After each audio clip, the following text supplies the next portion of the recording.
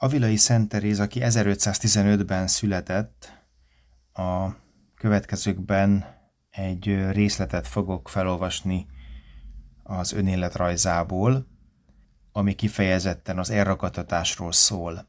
A következő felolvasás az nem hangos könyvnek készült, hanem egyszerűen csak felolvastam hangosan, és éppen ezért a hibák, a kisebb tévedések is benne maradtak, amik szerintem annyira nem zavarok, tehát nem egy művészi felolvasás következik professzionális stúdióminőségben, hanem egy tény, információ, ismertetés. Kérem, hallgassuk így. A felvétel 2023. május 26-án pünköstkor készült. Avilai Szent Teréz Elragadtatás Az elragadtatás vagy fölemelés, vagy a szellem röpte, vagy az önkívület, ez mind egy és ugyanazon dolog. Ezeket extázisnak is szokás nevezni. Ez az állapot nagyon fölülmúlja az egyesülést. Sokkal nagyobbak a hatásai és egyéb sajátos működései. Képzeljük el, hogy az utolsó víz, amelyről beszéltünk, ugyan olyan bőségesen árad, mintha őszent felségének felhője egészen leereszkedett volna hozzánk. A felhő azután fölemelkedik az égbe, magával viszi a lelket, és elkezdi neki mutogatni azt a királyságot, amelyet számára tartogat. Ezeknél az elragadtatásoknál úgy látszik, mintha a lélek nem éltetné többé a testet. Azért is annak természetes melege szembeszökő módon csökken. A test mind jobban és jobban kihűl, de mindez kimondhatatlan édességgel és élvezettel jár. Az ellenállás itt ki van zárva. Az egyesülés alkalmával még a saját földünkön vagyunk, és bár megerőltetésbe kerül, az ember majdnem mindig megakadályozhatja. Itt a legtöbbször minden hiába való. Sőt, olykor, amikor az ember legkevésbé van rá elkészülve, és mielőtt bármit is tehetne, rendkívül heves és erős rohamban jön rá, és egyszerre csak azt érzi és látja, hogy ez a nagy felhő, vagy ez a hatalmas sasmadár fölkapja, és viszi a szárnyain.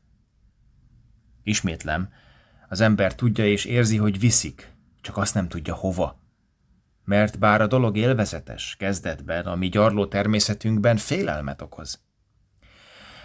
Itt határozott és bátor lélekre van szükség. El kell szánva lenni mindenre, jöjjön, aminek jönnie kell. Az ember bízza magát Isten kezére, és menjen jókedvel oda, ahova viszik. Mert hiszen viszik. Akár akarja, akár nem. Mégpedig ellenállhatatlan erővel. Én magam sokszor szeretnék ellent állani, és megfeszítem minden erőmet, különösen olyankor, ha mások jelenlétében jön rám. De sokszor olyankor is, ha egyedül vagyok ugyan, de attól félek, hogy a dolog nem Istentől való. Néha sikerült annyira, amennyire, de utána egészen össze voltam törve. Úgy ki voltam merülve, mintha valami hatalmas, óriás ellen küzdöttem volna. Máskor ellenben semmit sem tudtam elérni, és elragadta a lelkemet, és rendesen még a fejemet is fölrántotta, anélkül, hogy vissza tudtam volna tartani. Néha pedig az egész testemet is, úgyhogy fölemelkedett a földről. Ezek a hatások igen nagyok. Először is megértjük ebből az úrnak végtelen hatalmát mert hiszen be kell látnunk, hogy az ő akaratával szemben nem vagyunk képesek még testünket és lelkünket sem visszatartani. Nem vagyunk többé urai még ezeknek sem. Kénytelen kelletlen el kell ismernünk létezését egy felsőbb hatalomnak, amelytől ezeket a kegyelmeket kapjuk, és meg kell vallanunk, hogy önmagunk, önmagunktól semmire, de semmire sem vagyunk képesek. Ez pedig mélységes alázatot kelt az emberben. Azt is meg kell vallanom, hogy ez a kegyelem mindig félelmet keltett bennem, és különösen kezdetben igen nagyot. Mert nem csekélység, mikor az ember egyszerre csak azon veszi magát észre, hogy fölkapják a földről, és hogy a szelleme magával ragadja a testét. Igaz ugyan, hogyha az ember nem áll ellent, akkor egyúttal nagy élvezetet is okoz, és az öntudatot nem zavarja meg De amikor az ember ennyire érzi annak hatalmát, aki képes vele így bánni, a hajszála is égnek mered, és utána ugyancsak nincs bátorsága ilyen hatalmas Istent megbántani. Ez a félelem azonban igen nagy szeretettel párosul. Hogy is ne lobbanna megújult lángra a mi szeretetünk, amikor látjuk az övét? Látjuk, mennyire szeret bennünket. Kezdetben a dolog nekem félelmet okozott. Mindaddig, amíg azután őszent felsége meg nem nyugtat. Ekkor is azt mondta nekem, hogy ne féljek, hanem ellenkezőleg becsüljem ezt a kegyelmet többre mindennél, amiben eddig részesített. Mert ez a szenvedés megtisztítja a lelket. Megtisztogatja, megdolgozza, mint az aranynál szokás az olvasztókemencében, hogy azután annál jobban fölékesíthesse az ő ajándékainak zománcával, és ez végzi el rajta azt, ami egyébként a tisztító helyen várna rá. Ez az elragadtatás valami sajátságos lemondást hagy a lélekben, amelyről nem is tudnám megmondani, hogy milyen. Azt hiszem azonban, annyit mondhatok, hogy bizonyos tekintetben más és magasabb fokú annál, amelyet ezek a többi, pusztán szellemi kegyelmek hoznak létre. Mert bár ami a szellemet illeti, ott is megvan a teljes lemondás az összes földi dolgokról, itt azonban úgy látszik, az Úr azt akarja, hogy ugyanez érvényesüljön a test részéről is. Valami egészen új és sajátságos idegenkedés fogja el a földi dolgok irányában, ami az életet még sokkal nagyobb teherré teszi ránézve. Néha testem olyan könnyűvé lett, mintha teljesen elvesztette volna súlyát, és ez néha annyira fokozódott, hogy szinte nem is éreztem lábam alatt a földet. Amíg az elragadtatás tart, a test sokszor olyan, mintha meghalt volna és egészen tehetetlen önmagával, és olyan helyzetben marad, amilyenben volt.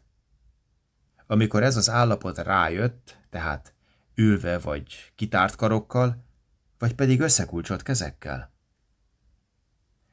E, az öntudatot az ember ritkán veszti el, de azért még esett, de azért megesett velem, hogy tökéletesen elhagyott, bár csak ritkán és rövid időre.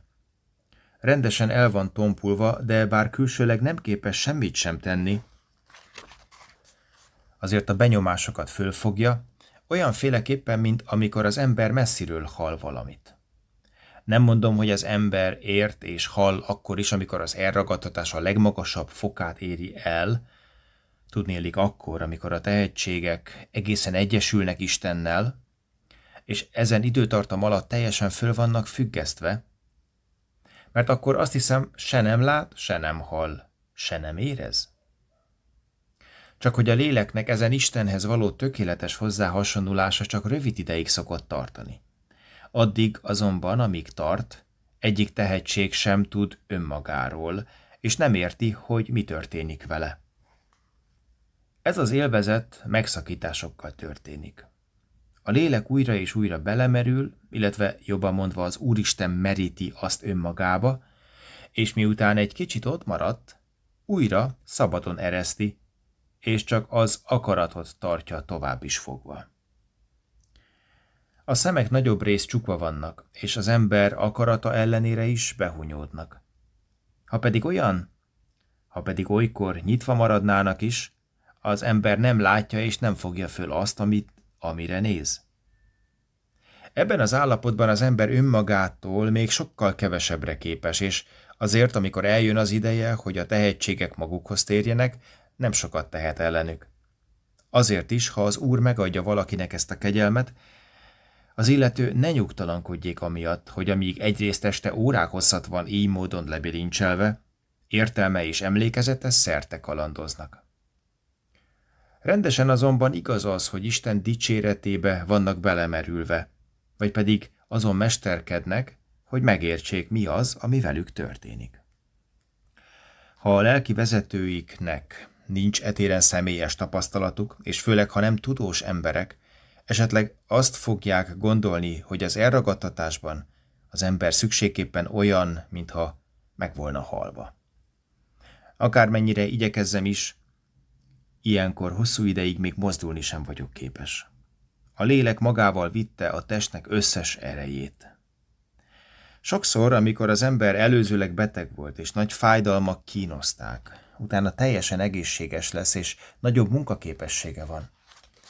Mert nagy dolgokban részesítette őt az Úr ebben az állapotban.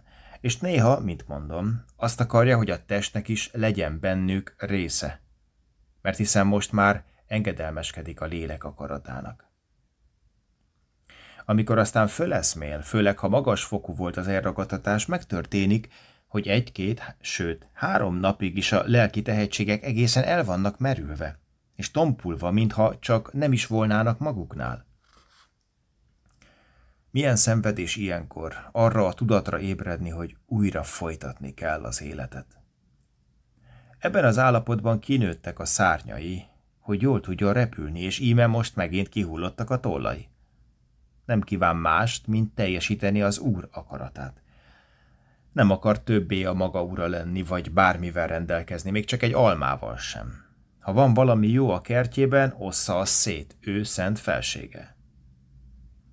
Mert mostantól kezdve neki magának ne legyen többé semmi sajátja, hanem az Úr rendelkezik mindennel, úgy, amint az megfelel az ő dicsőségének és akaratának. Tényleg mindez így történik, föltéve, hogy az elragadtatás valódi volt és a lélekben az említett jó hatások maradnak meg utána. Azt az egyet biztosan tudom, mert magamon tapasztaltam, hogy a lélek itt mindenek fölött uralomra tesz szert. És olyan szabadságra, egy óra vagy még annál is kevesebb idő alatt, hogy nem képes magára ismerni. Azt sem tudja, hogyan jutott ekkora kincshez, mert azt világosan belátja, hogy milyen rendkívüli nagy hasznára van minden egyes ilyen elragadtatás. Ezt senki sem képes elhinni, ha csak nem próbálta meg ő maga is. Ugyanis az ilyesmi után már nem elégszik meg azzal, hogy kicsinyes dolgokban szolgáljon az úrnak, hanem azonnal mindent meg szeretne tenni, ami csak tőle telik. Nézetem szerint, amikor a lélek ennyire jutott, akkor többé már nem ő beszél, és nem ő cselekszik önmagától, hanem minden tennivalóját ez a fölséges király vállalja magára. Mekkora felsőbségre tesz szert az a lélek, akit az Úr idáig juttatott, és milyen magasból tekint le az összes dolgokra, amelyek őt már képesek lebilincselni. Hogyan szégyelli, hogy valaha rabjuk volt, mennyire csodálkozik saját vakságán, mi végtelen szánalommal van azok iránt, akik még most sem látnak tisztán, főleg ha az illetők imádságos emberek, akiket az Úr már ajándékokkal áraszt el. Hangosan szeretné nekik oda kiáltani, hogy mennyire tévednek. Sőt, néha meg is teszi, és akkor ezernyi üldözés szudul a fejére. Szemére vetik, hogy nincs benne alázatosság, hogy oktatni akar olyanokat, akiktől tanulhatna. Mert olykor nem tehet róla, nem tudja tovább nézni, és úgy érzi, hogy mindenáron föl kell világosítania a tévedésükről azokat, akiket szeret. Fáj neki, ha visszagondol arra az időre, amikor oly sokat adott arra, hogy megbecsüljék, amikor még elég vak volt azt hinni, hogy tényleg becsület az, amit a világ becsületnek tart. Most belátja, mekkora hazugság ez, és mennyire engedjük magunkat valamennyien általa rászedni.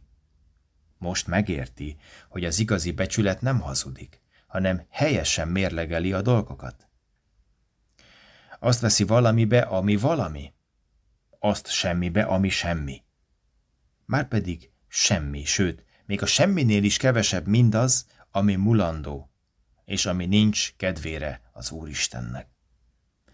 Nevetnie kell önmagán, ha visszagondol arra az időre, amikor még becsülte valamire a pénzt, és vágyódott utána.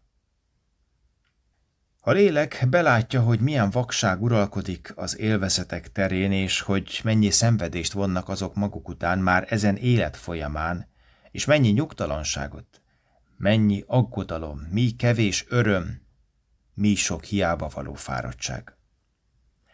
A saját bensejében a lélek most már nem csak a pókhálókat, a nagy hibákat veszi észre, hanem még a legkisebb porszemet is. A nap ugyanis már igen erősen tűz rá, és azért akármennyire igyekezzék is az ilyen lélek haladni a tökéletességben, Ha ez a nap egyszer amúgy igazában fényárban fürözti, egészen zavarosnak látja magát.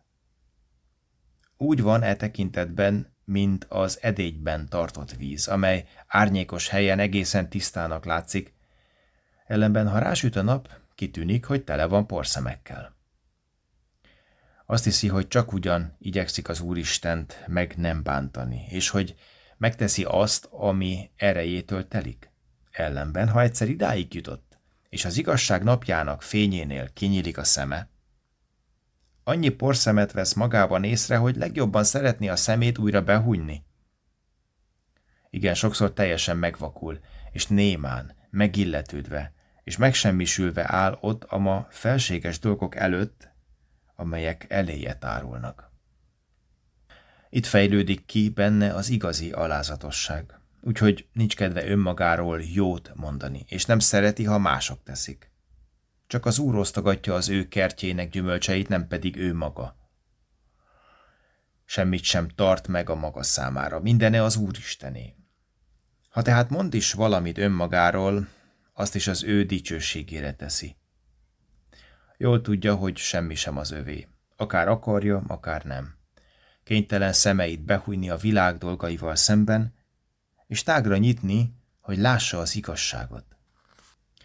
A lélek beleegyezésére itt semmi szükség nincsen. Ez a beleegyezés úgy is megvan.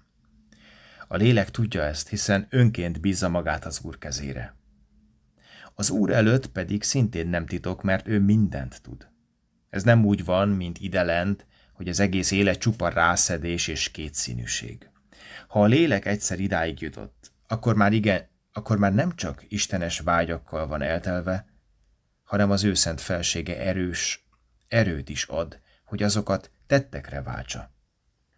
Nem képzelhető, hogy valami alkalom kínálkozzék Isten szolgálatára anélkül, hogy ő azonnal föl ne használná. És mégis azt hiszi, hogy semmit sem tesz, mert teljesen belátja, mennyire semmi minden. Kivéve, ha valami Isten kedvére tehetünk. Ó, micsoda gyötrelem arra a lélekre, amely ezen a ponton látja magát, amikor újra kénytelen érintkezni az emberekkel, amikor újra végig kell néznie és szemlélnie ennek az életnek nyomorúságos bohózatát, és erre a testre kell vesztegednie idejét is, ennie és aludnia. Mindez agyon untatja. Nem tudja, hogyan meneküljön, mert hiszen azt látja, hogy bilincsekben, börtönben sínylődik. Ilyenkor érzi amúgy igazában, hogy mennyire rabjai vagyunk saját testünknek, és hogy milyen nyomorúság az életünk. Ez az epedés, tudnélik, hogy Isten szabadítsa meg ettől a halált hozó testtől, néha oly heves, hogy a lélek, mivel nem mentik ki, úgy látszik, mintha már-már ki akarna szökni a testből, és maga igyekeznék visszaszerezni szabadságát. Úgy érzi magát, mintha el volna adva idegen földön, és ami legjobban fáj neki az az, hogy oly kevesen panaszkodnak vele együtt, és oly kevesen kérik, amit ő kér, hanem ellenkezőleg az emberek legnagyobb része élni kíván. Ó, ha nem ragaszkodnánk semmihez, és nem találnánk örömünket egyetlen földi dologban sem. Mennyire fájna nekünk, hogy Isten látása nélkül kell tovább élnünk. És az a vágy, hogy végre valahára élvezhessük az igazi életet, mennyire mérsékelni a haláltól való félelmünket.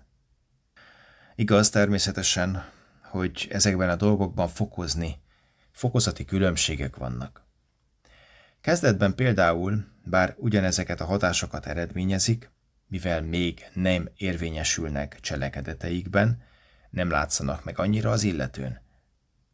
Tökéletessége is fokozatosan nő, és arra igyekszik, hogy a pókhálók még az emlékezetéből is kivesszenek. Márpedig ehhez némi időre van szükség.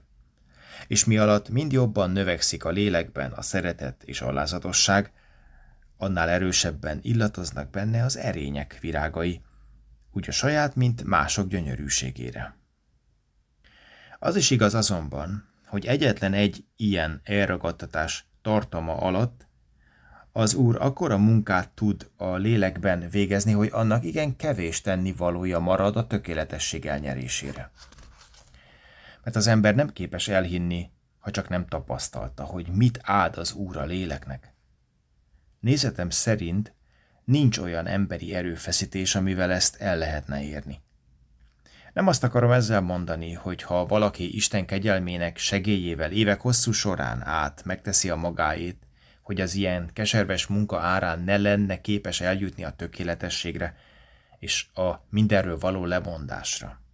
Csak hogy nem éri el ilyen gyorsan, mint ahogy itt csinálja meg a dolgot az Úr, amennyiben minden közreműködésünk nélkül teljesen elszakítja a lelket a földtől, és úrrá teszi minden fölött, ami azon található. Hogy miért tesz így ő szent felsége? Hát egyszerűen azért, mert így akarja, és mert ő úgy cselekszik, amint szent tetszése tartja. Ha a lélekben nincs meg a megfelelő készület, előkészíti ő maga, hogy képes legyen a ma kincset befogadni, amelyet ő szent felsége akar neki adni? Szóval nem mindig adja azért, mert az illető rászolgált azzal, hogy jól művelte a kertjét, bár az is igaz, hogy aki ezt a munkát jól végzi és gyakorolja a lemondást, azt nem bocsátja el üres kézzel, hanem azért, mert néha éppen a legrosszabb talajon akarja megmutatni csodás hatalmát.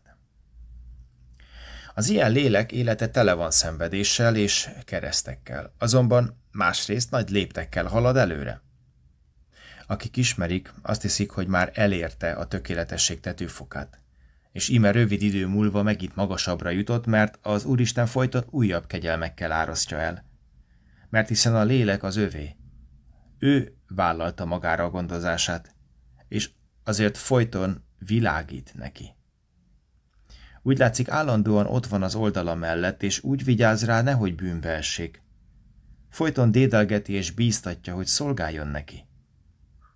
Az a lélek, amelynek az Úr megadja ezeket a kegyelmeket, amennyiben alázatosan és óvatosan halad, és mindig szem előtt tartja, hogy az Úr tesz, teszi mindezt vele, és magától semmire sem képes, nézetem szerint közéje keveredhetik akármilyen embereknek, még ha a legvilágiasabb vagy a legromlottabbak volnának is, nem lesznek rá rossz hatással, és nem fogják megingatni egy csöppet sem. Sőt, ellenkezőleg, mint mondom, jó befolyást fognak rá gyakorolni, és alkalmul szolgálnak neki arra, hogy nagy lelki hasznot merítsen a találkozásból. Az ilyen már azon erős lelkek közé tartozik, akiket az Úr kiválaszt arra, hogy másoknak lelki üdvét mozdítsák elő. Csak hogy persze ezt az erőt nem önmagukból merítik. Ha az Úr egyszer egy lelket idáig juttatott, lassan-lassan nagy titkokat közöl vele. Ezen elragadtatások folyamán történnek az igazi kinyilatkoztatások, a nagy kegyelmek és látomások. Mindez arra szolgál, hogy megalázza és megerősítse a lelket, és mind jobban növelje benne a megvetést ezen világ dolgai iránt, és világos fogalmat adjon neki a ma nagy jutalomról, amelyet az Úr az ő hívei számára tartogat. Az egyik módja az elragadtatásnak a következő. A lelket, bár talán éppen akkor nem is imádkozik, megragadja Istennek valamely szava, amely eszébe ötlik, vagy pedig amelyet kimondanak előtte. Ekkor ő szent felsége, mintha megsajnálná, hogy már oly régóta emészti a vágy ő utána, a léleknek mélyén feléleszti azt a szikrát, amelyről beszéltem, úgyhogy egészen lángra lobban, és ebben a lángban a lélek főnix madár módjára teljesen megújhodik. Ilyenkor jámborul hihető, hogy a bűnei meg vannak bocsátva. Amikor azután így megtisztult, Isten magához ölel ide, hogy hogyan, azt csak ők ketten tudják. Sőt, még maga a lélek sem érti át ennek módját, legalábbis nem úgy, hogy ezután el tudná mondani. Pedig bensőleg teljesen eszméleténél van, és távolról sem olyan, mint az ájult, aki érzéketlen minden benső és külső nyomás iránt. Azt akarom ezzel mondani, hogy a lélek sohasem volt életében annyira ébren minden oly dologgal szemben, ami Istenre vonatkozik, és sohasem volt oly világos fogalma ő szent felségéről. Ha ezen elragadtatás folyamán az úr jónak látja a lelket valami titokba beavatni, például megmutatni neki egyik másik égi dolgot, vagy pedig képzeleti látomásban részesíti, azt, amikor az elragadtatásból magához tér, el tudja mondani. És ezek a dolgok oly mélyen vésődnek az emlékezetébe, hogy sohasem felejti el őket. Ha ellenben értelmi látomásai lettek volna, azokat nem mindig képes elbeszélni. Vannak ugyanis ezek között olyan magasztosak, hogy nem volna illő, ha halandó ember, amíg e földön él, képes volna őket annyira megérteni, hogy el is tudja mondani. Viszont azonban van sok más értelmi látomás, amelyet az ember, ha egyszer magához tért, elmondhat. Lábjegyzet. Az érzéki látomás. Amikor az ember testi szemeivel lát valami jelenést, például a lurdi jelenések. Ez az érzéki látomás. Mi a képzeleti látomás? Amikor a jelenés a képzeletben tűnik fel, és szintén érzékelhető alakban látható, de nem testi, hanem lelki szemeinkkel, olyan, mint az álom. Ez a képzeleti látomás. Mi az értelmi látomás? Testi és lelki szemekkel semmi sem érzékelhető, hanem tudjuk, hogy ott van, és értjük, amit a jelenés mond.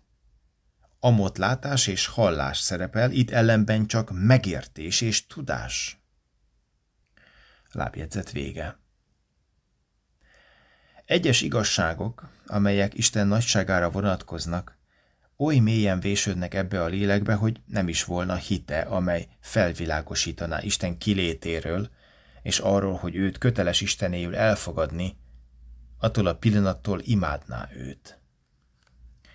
Meggyőződésem, hogy a lélek ezekben az elragadtatásokban, amelyeket Isten bocsát rá, mindig lát valamennyit ezekből a titkokból.